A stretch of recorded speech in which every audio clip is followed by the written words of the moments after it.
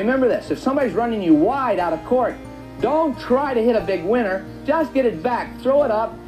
Keep the ball high. Get it back in play. And at least if your opponent's at the net, they're going to have to make a winner. They're going to have to beat you. Tracy Austin does it better than anybody I've seen. I was really lucky that Vic was a part of my young tennis life. My first memories of being on a tennis court were with Vic, you know, running around with other kids, giggling, laughing. So therefore, I continued to want to play. And remember, part of our problem on the serve was people are trying to imitate the trophy. oh.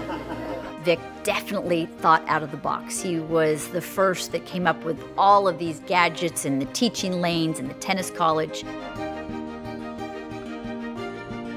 He was a funny scientist. There are very few people that have that scientific mind of being interested in the degree as you strike the ball or the velocity of the ball, digging into the minutia of tennis. And if you see this arrow, the arrow is going towards you, which means forward spin.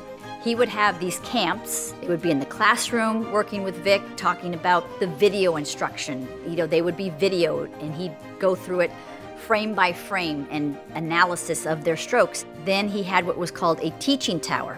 It was a high tower right in the middle of four different courts so that the coaches could go up there and look at the four courts. When you hit the balls back into the middle, there was a conveyor belt at the bottom that fed those balls back into the ball machines. This is genius stuff. This is all innovative. This was 45, 50 years ago. Eventually, Vic got to where he was teaching other coaches so that they could move on to their club and teach Vic's method. He was like the Pied Piper because everybody wanted to be around this knowledgeable guy about tennis who wanted you to improve as much as you wanted to improve. And I think that's a very rare quality.